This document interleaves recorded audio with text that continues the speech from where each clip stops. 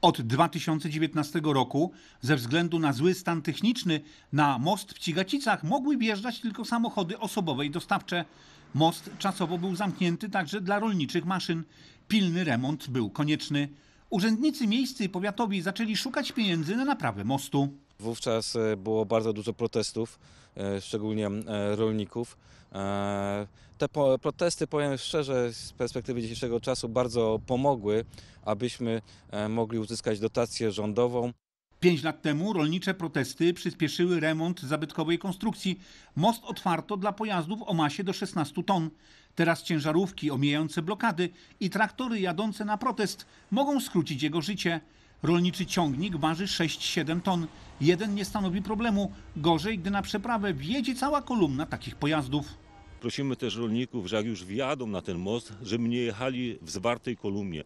Niech dadzą odstęp, niech dadzą odstęp, niech wjeżdżają po dwa, trzy, cztery ciągniki w odstępach, żeby ten most nie poczuł tak, tak dużego obciążenia. Policja, która wytyczyła już objazdy planowanej blokady węzła Sulechów, przypomina, że most jest zamknięty dla pojazdów o masie powyżej 16 ton. Będą policjanci obecni przed mostem w Cigacicach z obu stron i na pewno nie będą wpuszczane e, pojazdy powyżej e, 16 ton. Będą kierowane na inne alternatywne drogi. Już będą wcześniej informowane samo, kierowcy samochodów e, ciężarowych o tym, że ten most jest nieprzejezdny i że trzeba się kierować alternatywnymi drogami. Urzędnicy zastrzegają, że most w Cigacicach jest w dobrym stanie technicznym. Co roku przechodzi szczegółowe kontrole, ale jego nadmierne obciążanie może skrócić czas do kolejnego remontu, a nawet zmusi do wprowadzenia ograniczenia tonażu.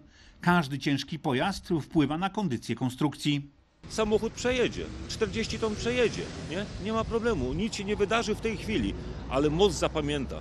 Jeżeli tych przejazdów będzie dużo, to on będzie pamiętał i zamiast 40 lat e, trwałości tego mostu będziemy mówili o, nie wiem, 10, 15 latach, 20 może.